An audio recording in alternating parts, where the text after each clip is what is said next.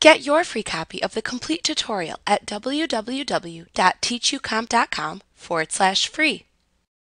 In Excel, when you get past the end of a printable page as defined by your current page setup, Excel will insert an automatic page break. Sometimes these automatic page breaks occur in places where you would rather not have them occur. They may leave data on a second page orphaned from the rest of the worksheet. Maybe they leave the titles of columns on one page while the supporting data appears on the next page.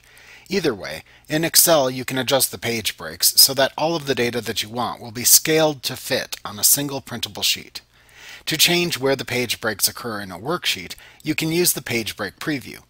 To get there, you can click the Page Break Preview button that appears in the Workbook Views group on the View tab within the ribbon.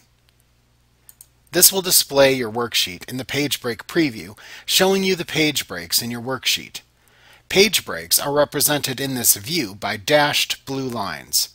Click and drag the dashed blue lines that represent your page breaks and drop them in the location where you want the page to break.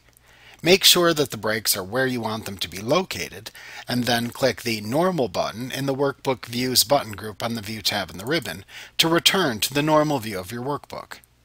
Note that once you have inspected the page breaks in your document using the Page Break Preview window, you will then see them in the normal view of your worksheet as dashed black lines.